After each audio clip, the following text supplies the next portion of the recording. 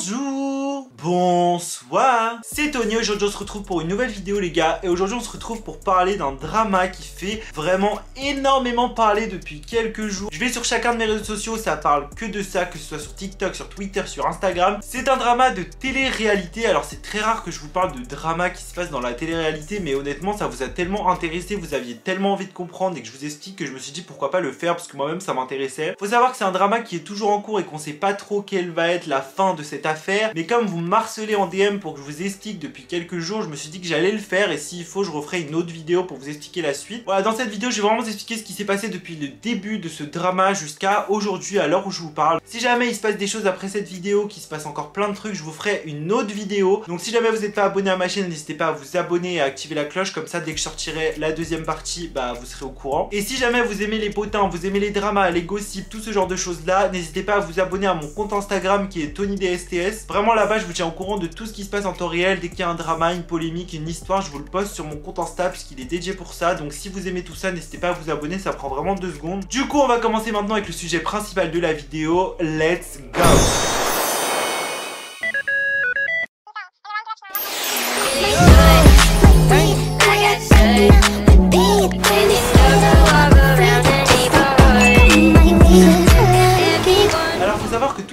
elle a commencé vraiment bêtement, c'est-à-dire qu'en fait, Maeva Genam était avec Manon Tanti. Dans son snap, elle expliquait en fait qu'elle venait d'apprendre que quelqu'un lui avait jeté des sorts, que quelqu'un avait fait des trucs avec des poupées vaudou sur elle, qu'elle était vraiment choquée de, ce qu'elle venait d'apprendre et qu'elle alors revenait pas en fait. Je suis trop mal, je suis trop mal. Heureusement que là, il y a Manon. C'est un truc de dingue. Je suis trop, trop, trop, trop mal. C'est, il se passe des trucs de paranormal. Genre, euh, j'ai l'impression que je suis dans un rêve. Je, me pince, je suis en crise d'angoisse. Amis, quand je vous dis que j'ai très, très, très, très, très peur, je, suis en angoisse, je, fais caca dans ma culotte, je suis pas bien depuis tout à l'heure.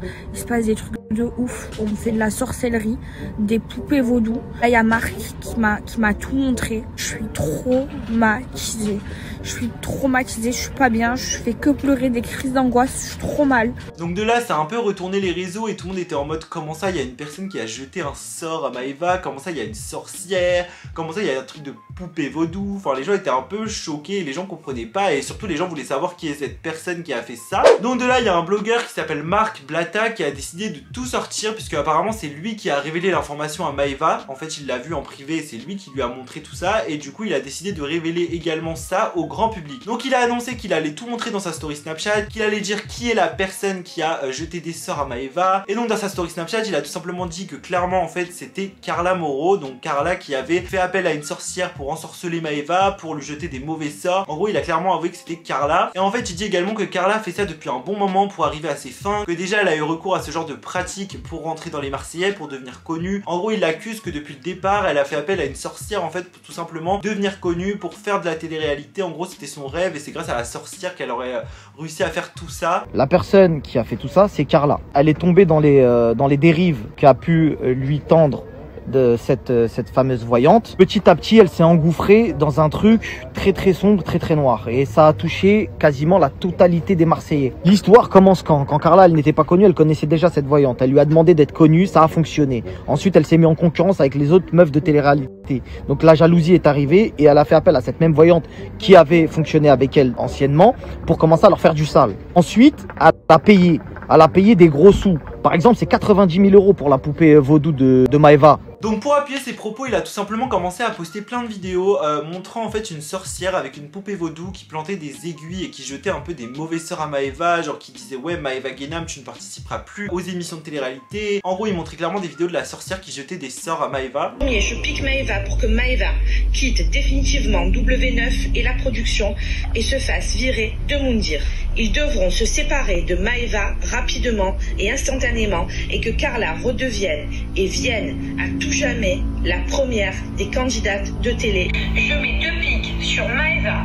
Maeva, tu seras complètement bloquée et tu seras virée des programmes de W9 et les Marseillais et tu ne participeras pas au nouveau tournage Les Marseillais. De là, pour appuyer la thèse que c'est Carla qui aurait engagé cette sorcière, il a commencé à montrer aussi des notes vocales de WhatsApp, dont des notes vocales en fait où on entend tout simplement Carla qui dit écoute, j'espère que ça va fonctionner pour Maeva, j'espère qu'elle va quitter le truc, voilà, j'espère que l'aiguille que tu lui as plantée va faire en sorte que, enfin en gros on entend clairement Carla qui dit ce genre de choses. Écoute, j'espère que ça va marcher, que Maeva ça va marcher. Bon, je sais encore confirmation pour la coiffeuse qu'elle part bien début novembre, donc j'espère que ça va se mettre en place. Après, euh, j'espère, euh, je pense que Maïva, euh, les pics qu'on a fait, ça peut vraiment la faire arrêter l'émission et qu'elle parte pas, ou tu penses que ça va pas servir à grand chose donc ça a vraiment choqué tout le monde parce que voilà, Carla elle est très appréciée du public, tout le monde trouve que c'est une fille qui est adorable, qui est toute mignonne, etc. Donc ça a vraiment choqué énormément de gens en fait que Carla ait engagé une sorcière pour jeter des sorts à sa meilleure amie parce qu'en plus Maeva c'est sa meilleure amie de base. Par la suite le blogueur du coup Marc qui a révélé l'affaire a commencé à révéler de plus en plus de choses, il a montré d'autres notes vocales en fait où Carla demandait clairement à la sorcière euh, d'être la star du programme. Elle disait qu'elle voulait que son mariage limite soit remplacé par celui de Julien et Manon. Elle disait qu'elle voulait toujours être au-dessus de Kevin, donc son mari, euh, dans l'émission. Enfin, en gros, elle avait plein d'exigences en mode elle voulait euh, vraiment évincer Julien du programme, que ce soit elle la star. Enfin, en gros, c'était un peu ça qu'elle disait dans le message vocal. Vraiment qu'obligatoirement, il ne fasse plus les Marseillais,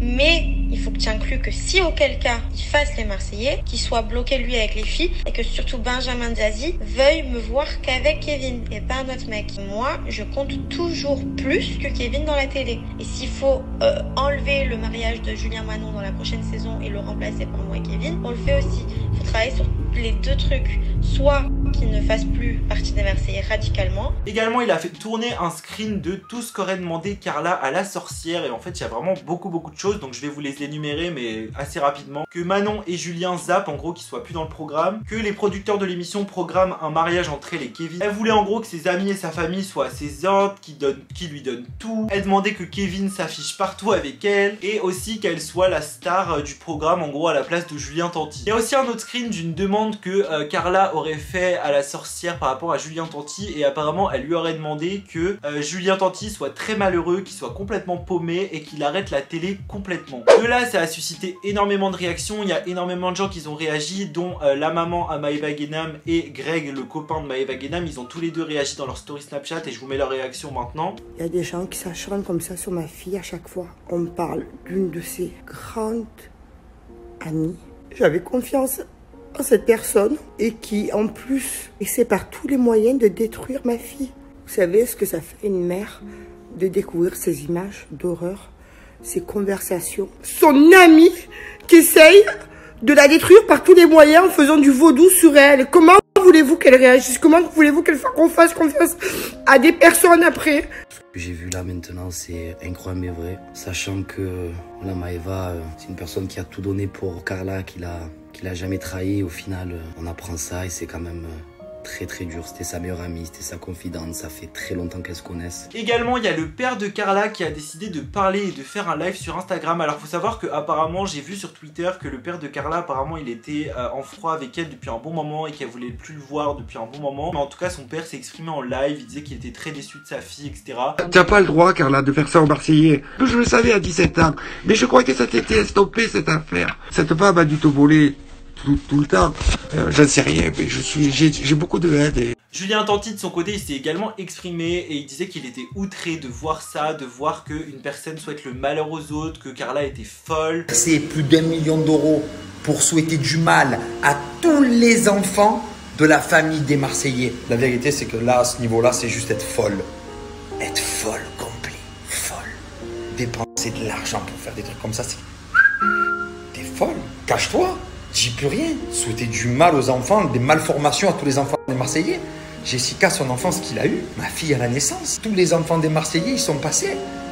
Par la suite, malgré toutes ces réactions, toutes ces rumeurs, faut savoir que Carla ne s'est pas exprimée. Je pense qu'elle attend d'être prête ou je sais pas, enfin en tout cas elle s'est pas encore exprimée. Du fait qu'elle ne se soit pas exprimée, il y a eu plein de rumeurs, euh, plein de gens commençaient à dire que Carla avait fait une tentative de euh, se suicider. Et cette rumeur a été appuyée aussi puisque Julien Tanti a commencé à partager des conversations dans sa story Snapchat et il a partagé une conversation que je vais vous lire maintenant où une personne disait je suis ami des parents à Kevin, tout est faux, tout est faux, tout a été inventé, modifié et orchestré par Manon. Carla a tenté de mettre fin à ses cette nuit et elle est dans un état grave. À cause de ce genre de screen qu'il a partagé dans sa story Snapchat euh, montrant que une personne avait dit que Carla avait fait une tentative de suicide. C'est parti vraiment loin, il y a plein de gens sur Twitter du coup qui pensaient que c'était vrai et que Carla avait essayé de mettre fin à ses jours. Maeva Genam elle a décidé de s'expliquer et elle a décidé de dire tout simplement en story Snapchat qu'elle a eu Kevin au téléphone et Carla je crois et que en fait Carla était entourée, qu'elle n'a pas du tout fait de tentative de suicide, que c'était juste des rumeurs, qu'elle-même était inquiète mais qu'il n'y a pas à s'inquiéter pour Carla, qu'elle va très bien. J'ai vu les rumeurs comme vous, euh, comme quoi Carla euh, avait fait une tentative de suicide. Pour tout vous dire, toute la nuit, je n'ai pas dormi, j'étais très inquiète pour ça. Et je vous rassure à tous, je viens de la voir au téléphone. Carla n'a fait aucune tentative de suicide. Soyez rassurés. Même après tout ce qu'elle m'a fait, je suis inquiète pour elle parce que c'est quelqu'un que j'ai aimé. Par la suite, cette histoire a fait tellement, tellement parler sur les réseaux sociaux euh, que le blogueur en question qui a révélé l'affaire, qui s'appelle Marc Blatta, a été invité sur le plateau de Touche pas à mon poste. Et donc en fait, sur Touche pas à mon poste, il a rien révélé de bien fou, il a rien dit de plus en fait que ce qu'il avait dit déjà dans ses snaps. Par contre, il a euh, rajouté une vidéo, en fait, encore une fois, euh, fait par la sorcière à la demande de Carla apparemment. Et dans cette vidéo, en fait, on voyait tout simplement la sorcière qui mettait des vis dans le visage des producteurs en fait de l'émission Les Marseillais. Et apparemment en fait c'est Carla qui aurait demandé euh, à la sorcière de faire en sorte d'être la star du programme et du coup de faire aussi euh, de la magie noire, enfin de l'envoûtement sur les producteurs de l'émission. Et main liée pour Carla rentre dans le tournage instantanément et immédiatement. Et donc il y a juste cette vidéo là qui, qui, a fait beaucoup parler encore une fois. Par la suite, après tout ça, après que tout ça ait pris une énorme ampleur, faut savoir que Kevin a fait ses valises et qu'il est parti à Dubaï. Donc on sait pas trop, enfin on n'en sait pas plus que ça, mais en tout cas il est parti à Dubaï. Donc peut-être pour s'expliquer avec Julien, peut-être pour s'expliquer avec Maeva, peut-être pour s'expliquer avec Manon Tanti, on n'en sait rien. En tout cas il a pris ses bagages, il est parti à Dubaï et il a été régler les affaires sur place. Ce qui est très très bizarre, c'est qu'une fois que Kevin est arrivé à Dubaï, Maeva a commencé à faire des snaps où elle disait en fait qu'elle s'excusait envers Carla, que tout était totalement faux, que qu'elle s'est trompée, qu'elle connaît la vérité. Enfin bon, en gros, elle disait que tout était faux, etc. Enfin, elle a commencé à faire une longue story Snapchat où elle disait ça. Je tiens à m'excuser auprès de Carla. Je sais toute la vérité. Je peux pas en parler. Tout ce que je peux vous dire, c'est que je m'excuse, je m'excuse, je m'excuse, je m'excuse, je m'excuse. Ça fait une heure que je suis au téléphone avec elle, je viens de comprendre des choses. Toute cette histoire est fausse. Et quand vous allez comprendre, vous allez tomber du 18e étage. Moi, c'est un soulagement de savoir que tout ça est faux parce que j'avais peur d'avoir perdu ma meilleure amie. Puis j'ai honte de moi de pas avoir été là, mais l'histoire elle est trop compliquée. T'es faux et pardon, je t'aime Carla. Et ce qui est encore plus bizarre et ce qui a encore plus troublé les gens sur Twitter, c'est qu'en fait, quelques minutes après ce snap-là, elle a refait un autre snap où en fait là, elle disait que euh, l'histoire était fausse, mais que les accusations de sorcellerie étaient vraies, que Carla avait vraiment fait de la sorcellerie, que les messages vocaux étaient vrais, que les vidéos étaient vraies, que c'était vraiment Carla, mais que l'histoire était fausse. Du coup, les gens n'ont pas compris, et moi-même j'ai pas compris parce que je me suis dit, bah c'est quoi qui est faux? Parce que là, les accusations dont on parle, c'est de la sorcellerie, donc si elle a bien fait de la sorcellerie, qu'est-ce qui est faux? Moi, maintenant, je sais des trucs. Je sais que c'est faux. Maintenant, Marc et Nadé, tout ce qu'ils avaient, c'était vrai, c'était du réel, c'était la voix de Carla, c'est Carla qui a parlé. Demain matin, Nadé et euh, Marc, ils sauront la vérité avec les preuves. L'histoire, elle est complètement fausse, mais toutes les trucs de sorcellerie que vous avez vu avec la boîte Carla, tout est réellement vrai. Quelques heures après ça, on a appris que euh, Kevin du coup était parti pour voir le blogueur qui a révélé l'affaire qui s'appelle Marc Blatta et en fait apparemment ils sont tous les deux en train de discuter de toute cette affaire, ils sont tous les deux en train de voir qui a raison, qui a tort, en train de débattre et Marc Blatta a mis une story où il a mis enquête en cours où on voit Kevin qui lui montre des trucs sur son téléphone. Donc apparemment ils sont tous les deux ensemble en train de débattre de l'affaire, en train de voir qui a raison. Encore une fois, elle a totalement changé euh, par rapport à ce qu'elle avait dit juste avant dans les snaps que je vous ai montré puisqu'elle s'est un peu retournée encore une fois. Et elle a dit je suis jeune cette histoire m'a bouleversée j'arrive pas à concevoir que Carla ait pu me faire ça oui, c'est sa voix et Carla me l'a confirmé hier au téléphone. J'ai réagi en chaud en voyant le désespoir de Kevin car hier soir j'étais avec lui. Donc là on comprend du coup que Kevin en arrivant a dû aller voir Maeva, il a dû expliquer sa version des faits, la version de Carla, etc. Que, Maeva a dû avoir Carla au téléphone et qu'elles se sont expliquées pendant un bon moment. De là, Maeva a dû avoir de l'empathie pour Carla et du coup en story elle a dit que tout était faux. Euh, mais au final, là elle nous dit que tout était bien vrai. Et apparemment Carla a bel et bien confirmé à Maeva que c'était bien elle et qu'elle avait vraiment fait ça puisque c'est ce qu'elle a mis dans son screen en fait. Donc du coup cette histoire c'est n'importe quoi. Honnêtement pour l'instant euh, on n'en sait pas plus. Kevin et Marc le blogueur sont en train de débattre de ce sujet. Maeva de son côté a dit qu'elle voulait plus en parler pour le moment, qu'elle avait besoin de se reposer, de se ressourcer etc. qu'elle en avait marre. Et Carla devrait passer de ce que j'ai entendu dans la semaine sur le plateau de Touche pas à mon poste pour s'exprimer. Donc moi j'avais vraiment envie de faire cette première vidéo pour vous expliquer parce que je sais qu'il y en a plein qui ont entendu parler de cette histoire mais qui ne comprenaient pas ce qui se passait et je me suis dit au moins vous comprendrez ce qui se passe, vous attendrez la suite et euh, quand il y aura une suite je vous ferai une autre vidéo donc euh, voilà n'hésitez surtout pas à activer la cloche, à vous abonner à ma chaîne c'est toujours pas fait comme ça dès que je vous sors l'autre partie avec ce qui s'est passé par la suite euh, vous pourrez comprendre plus facilement puis recevoir la petite notif. Donc voilà les gars j'espère vraiment que j'ai pu vous éclairer votre lanterne, que vous, que vous ayez pu comprendre cette histoire parce qu'elle est très très compliquée mais moi j'ai dû remettre des trucs de pièces de puzzle dans l'ordre pour comprendre parce que c'est très compliqué. Mais voilà le but c'était vraiment de vous aider à comprendre ce qui s'est passé, j'espère que ça vous a aidé. moi je vous fais de gros gros bisous, on se retrouve très très bientôt pour une